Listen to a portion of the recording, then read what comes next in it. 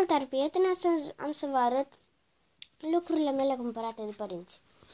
Primul lucru este această carte, Prințesa și trăitorul de lemne, de la fabrica Prințesa, Mica Prințesă.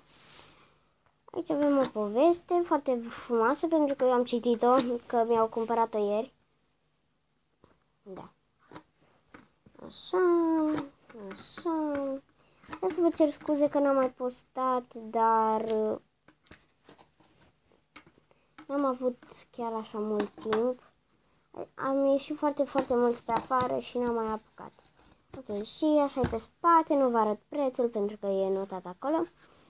Ok, următorul lucru, am aceste urechiușe foarte frumoase, cumpărate ieri. Uh, au costat chiar foarte puțin, uh, alb cu negru și maro cu, adică imitație de leopard. Ok. Apoi mi-au cumpărat această poșetă cu surpriză. Eu mai am una așa, tot, tot așa mi-au cumpărat anul trecut una, dar acum nu știu ce surpriză mi-arată. L-am desfăcut eu din pungă, pentru că era în pungă și scria poșetiță cu, cu surprize. Avem două coliere scuze pentru asta, dar am tăiat eu ceva ieri. Ok, primul colier e așa, drăguț, colorat. Și ăsta e cu Hello Kitty. Ok, să le băgăm înapoi de unde am luat. Așa.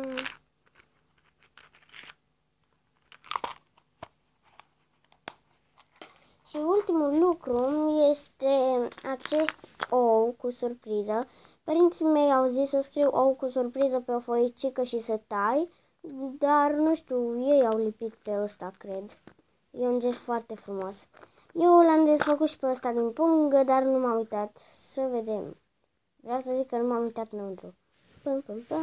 Wow, ce chestii tari.